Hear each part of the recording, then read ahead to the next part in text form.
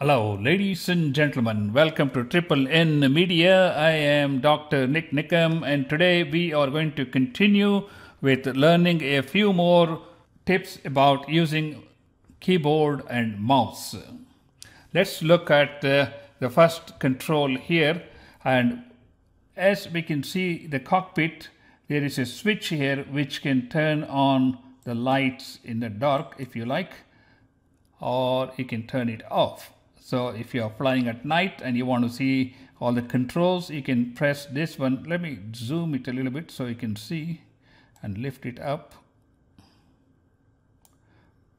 Okay, there's the light. You can see you can turn on these lights and this is the light off. While we are here, we can also, of course, this is flying, but we can apply the park brake here and you can see the brakes here. When you're ready to take off, you release the park brakes by pressing pulling the knob here. So that's that's point number two.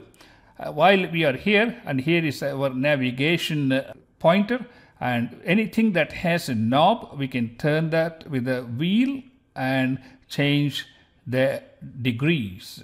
If it says uh, 240 degrees and that's where you're going to go to 240 degrees and this is like 270 degrees which is uh, going west as you rotate it.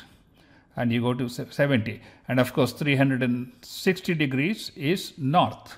And if you want if you're going north starting and then you turn the dial you go to north which is 360 degrees. And the opposite of that is south which is 180 degrees. So that's how any one of these, let me see if I can bring this down so we can experiment with some of these other uh, controls. Oh, I had to lock this. We can also change the nose position by using this. Okay, so now we can change the nose position or we can bring it down. So anything that has a dial, we should be able to. Now this is the altitude. And uh, let me zoom out here and this is the altitude which is at 7000 feet and I can bring this down if I want to and I don't know if you can see it but uh, we can bring it down to like 6000 feet uh, above the ground level or the sea level whatever the position may be. So using the roller you can change a lot of these knobs positions and get the desired effect. In fact, you can also change the bevel or dial, rotate it as you like, if you like. You can rotate it or counterclockwise, either direction. Anything that has a knob, we should be able to uh, use the roll on the mouse in the middle and turn them on to, to, the, to the back or to the front to get to the desired level. Here we are flying at a speed of 100 nautical miles or air miles. And now let us move on. I talked about the throttle here and uh, as you can, let me, let me bring this down a little bit so that uh, you can see the effect of the throttle. And you see throttle is like a mixture of air and gasoline and when you turn it down the sound becomes low and the when you want to maintain a certain speed you want to mix about 65% uh, uh, gas and water. So that's how you get that one. We have removed the yoke here. We can put the yoke back uh, here. Either we can use the numeric pad which is on the keyboard to your right. That numbers uh, going from 0 to 9 which also shows the arrows. If you look at the keyboard carefully, you will see number 8 has an up arrow, number 4, 6 has a rightward arrow, number 4 has a left arrow, number 2 has a down arrow. We also have a separate uh, arrow keys uh, just beneath the shift key. If you don't have it, you can use, just use the numeric keypad and now what I'm going to do is I'm going to press 8. Okay, if I press the down arrow, we can see it brings up the position. And this is where we can actually try the parking brake. As you can see the parking brake position is up and it is down. All right if we use the left arrow key it will move to the left the best way to look at it is like this. Bring the whole thing down. All right. So left arrow key and then if you move the right arrow key it moves to the right side.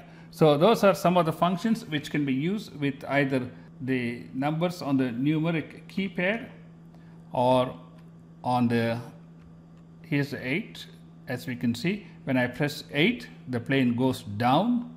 If I press 2 the cockpit views comes up so that's number 2 and this is number 8 as you can see. And this is number 4 which goes to the left side and only twice you can do it. Number 6 which is showing the right side. All right so let us uh, leave this part and let's move on to the next one. Let us say you want to see the plane from outside. Then you can push the insert key which is uh, right above the backspace. You know the insert and delete. So you press the insert key. Now you can see the plane from outside.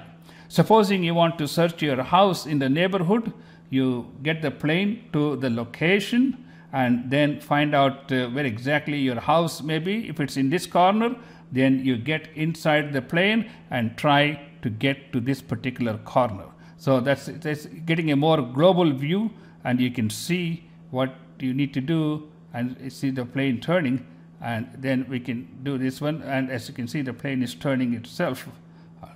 The other way to use is end key, E-N-D, end key. When you press the end key, you also see some dials here as it is turning. This is a demo program, so the instructor is playing with these dials. As the dial is changing the angles, you can see the plane turning in that direction. And here is the air speed. And here we also have the altitude. I don't think we have control over the altitude, but if you're actually flying the plane, you can control all these things by pressing the end key, E-N-D. If you press the end key again, you're back inside the cockpit. I'm glad, oh, glad you're back inside the cockpit. So those are some of the things that uh, we can use. Uh, and again, you use your roller to get to the desired location. It's, it's like, and then press the right key to lock that position. And you want to see some light, you can put on the light on here. There you go, gentlemen. I think this should be enough for this presentation and in the next presentation we're going to explore more mouse and keyboard connections to fly the plane and once we get familiar with these controls we should be also able to, to turn the plane ourselves. Once we get that and once we learn how to use the brakes we will actually try to fly a test flight. Okay, thank you so much for watching this presentation and please, please do subscribe to our YouTube channel and we will see you next time.